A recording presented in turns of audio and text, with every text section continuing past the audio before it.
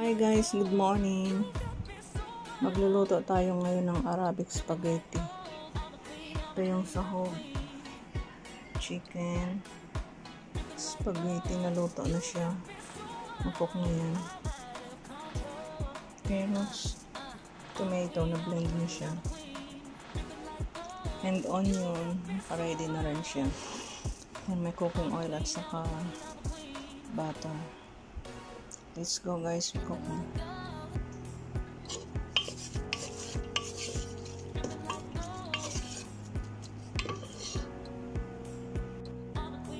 Lagyan natin ng konting turmeric powder. Kasi ganito yung toro sa akin. So, ganito yung susundin natin. Saka cumin. Konti lang. Kasi para hindi daw mangamoy masyado yung onion. Tapos lagyan natin ng cinnamon stick.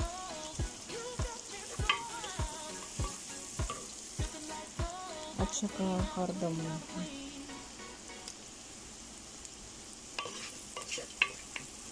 Tapos sunod natin dito yung manok. Lutuin natin yung manok hanggang sa maluto. Depende sa inyo kung gaano gusto yung maluto. Yung medyo half cook or medyo ano na sa inyo na yun. Basta importante luto yung manok.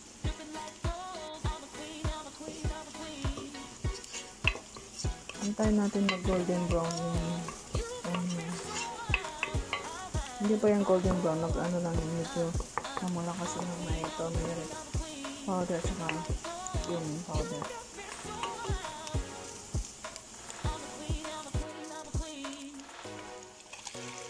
Lagay na natin yung ano.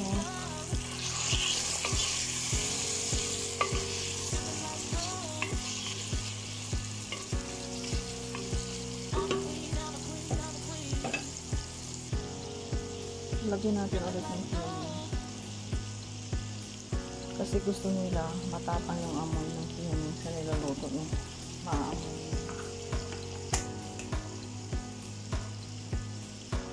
Black pepper powder.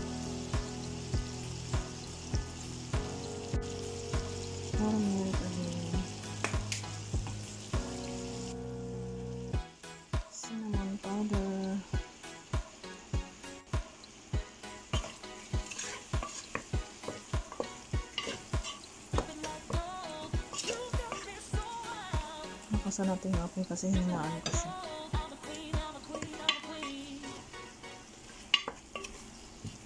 Halo-halo. Halo-halo tayo.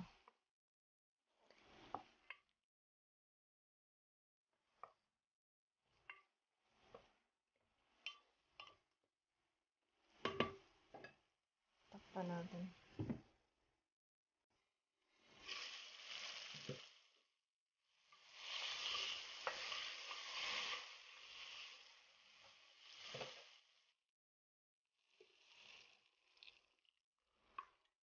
Lagay natin yung kamatis. Lutuin natin hanggang sa maluto yung manok.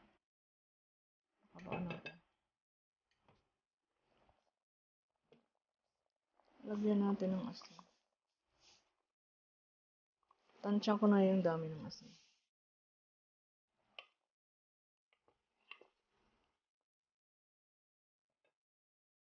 Cover.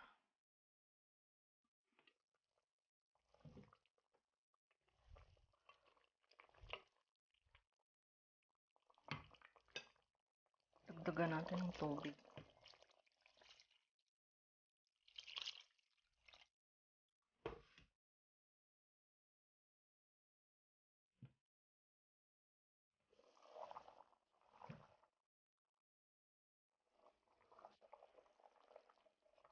Ilagay na natin yung carrots.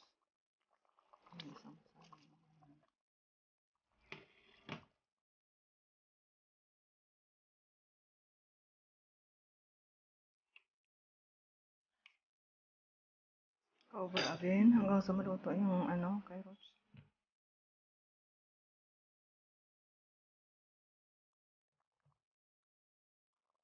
Lagyan natin ng chili.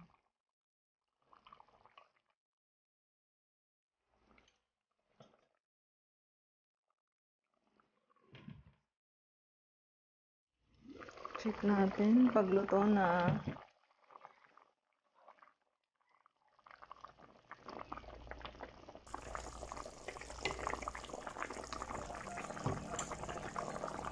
Lagyan natin ng tomato paste.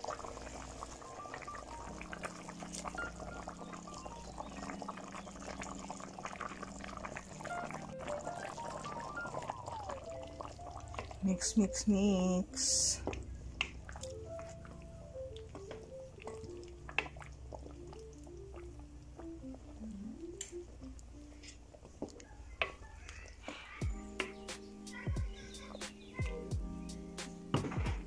Boil it again.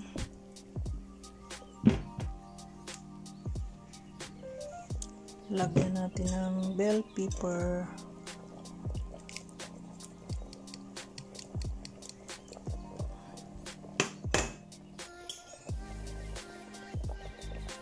Mix, mix.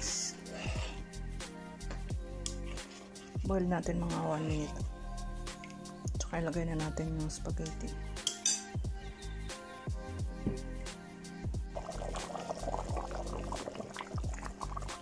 Now, ilagay na natin yung spaghetti.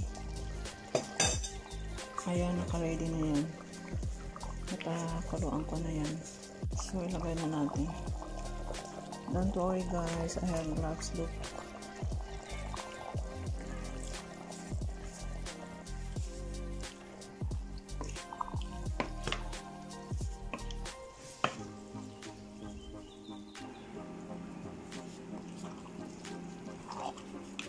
Now, lagyan natin ng coriander leaves.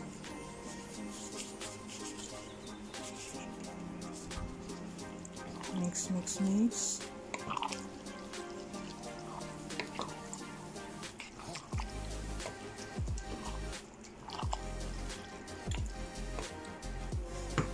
Finish. Ganun lang. Yung Arabic na spaghetti nila. Look. Yan. Yan guys, ready to serve na. Ready to eat. Let's go. We eat now.